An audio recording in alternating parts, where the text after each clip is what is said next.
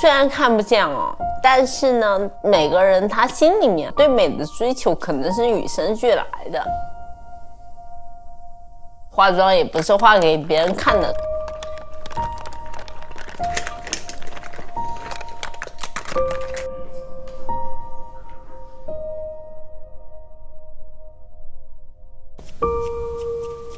依赖自己，除了手的稳定性以外，还有皮肤的感觉。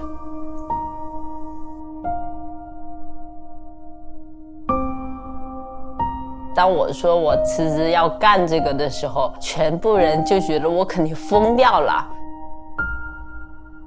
看不见了以后，很多事情都会被拒绝、被限制，连自己的形象都没有办法把握。很多时候是我们没有去迈出尝试的那一步。我十六岁失明，想自杀。所有的梦想都破灭了，因为我从小是学美术的，为什么会是我看不见了，把我觉得最重要的视觉东西给夺走了？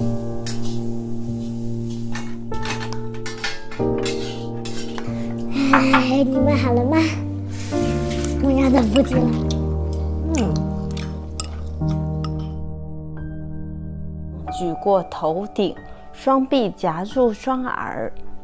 后来我不是练瑜伽，那个想法真的好天真呐！如果我八十岁还是这么柔软的一个老太太，肯定会有人找我练的，不会给人家带来负担，我就有了希望。你们可以摸着我，对，左膝在上面，他的手摸对了。哦，对，你看这个曲线都出来了。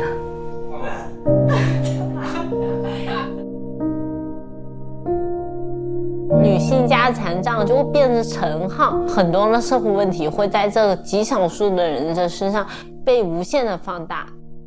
去盲校学这个按摩专业，毕业了以后遭遇了性骚扰的事情嘛，有一次特别吓人，他就让我按他下面，他就抓着我，然后衣服也扯破了，还好，然后那个门就跑出来了。这种情况对视障女性还是很常见的。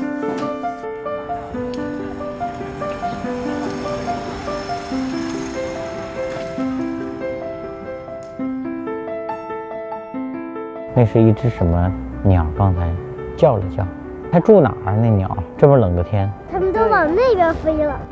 那边林子里面有它的鸟窝吗？对，那边有树还有鱼吗？嗯，没有看见鱼都躲底下应该都沉底了，对不对？因为上面的水估计得老凉了，它应该得藏在泥巴里面过冬，是不是？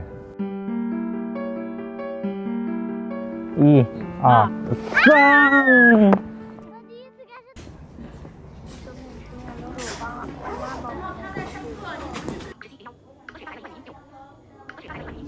那个时候蔡梦熙发烧，真的把我和蔡聪弄死了。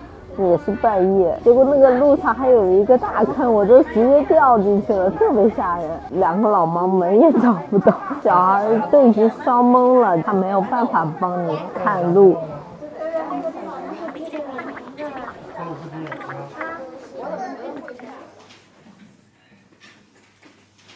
这时候你看你的方法是不是很整体了，对吧？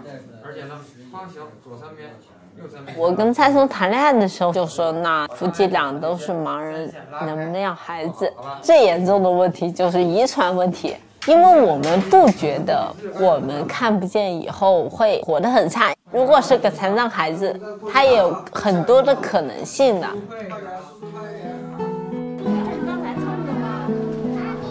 哦，终于来了！哎，别把我的脸给磨了，就画明暗和阴影是吧？树上都光了吗？没有呢，还有一点点。哦，居然没有全部掉光。过吧，我们平时这样过的是吧？第二个就是，那我们看不见，能不能照顾好他。有视障人他自己带孩子，我们只要去向他们学习相关的经验就可以了。嗯，走吧。豆豆变成五彩的颜色，呃，一紫色，还有粉色，有点粉色、黄色。哎，它的名字就叫《世界的橱窗》。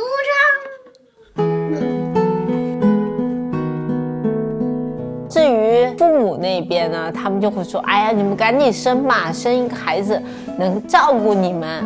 为什么从小让他背负这么多压力？”说什么我要学医，然后我要医治我妈妈的眼睛啊，我觉得好讨厌。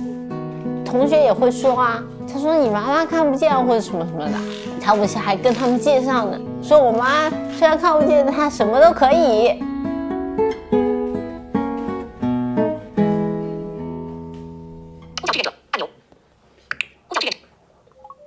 你好，哎，你好，你能帮我看一下我这个是什么吗？这个叫粉嫩水感粉底液，好，我看一下。老师全程晃动，他是没有发出声音的，完全不知道他在干什么。所有的那个冷色贴一个，暖色贴两个。我原来在这里贴，我和蔡木西两个人贴的头晕脑胀，我晚上都贴到半夜。那个时候都在想，如果要是我能学会的话，我还要教那些跟我一样的。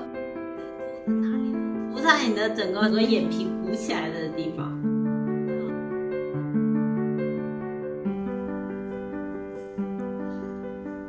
本来在日常生活中就很难，大家都跟你说不可能、不可以。站在适当的角度看待这个世界、理解这个世界的方式，总被人认为是错误的。所以在肖佳想去做一些事情的时候，尽可能的是给他一些正面的反馈。视障者当然有取悦自己的这种权利啦。他就涂了一个粉底液，口红涂了一点点。哦，他稍微画了一点点，但是没有全部画。那很不错，至少第一天还敢画，还画。对，然后你可以鼓励他一下。如果是十年前的我，看到了现在的我，会给我很大的动力。原来看不见可以过成这样子。每个人他都可以在旷野里举的活吧。Thank you.